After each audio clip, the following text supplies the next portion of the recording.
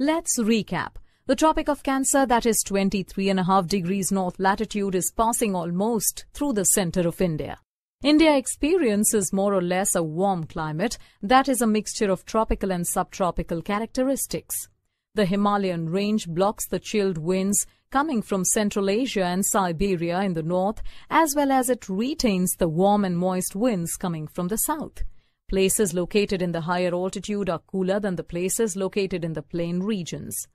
Northeasterly is a dry wind as it blows from the land to the sea. Jet streams are the upper air circulation of air over 6 to 11 kilometers from the surface of the earth that blows with a speed of 110 kilometers in summers and 184 kilometers in winters. Western disturbances bring moderate rainfall in the northwestern part of India and snowfall in the mountains during the winter months. The tropical cyclonic depressions form over the eastern coastal region of India due to the influence of tropical easterly jet stream. This brings cyclonic rainfall in the eastern coastal region of India during October and November.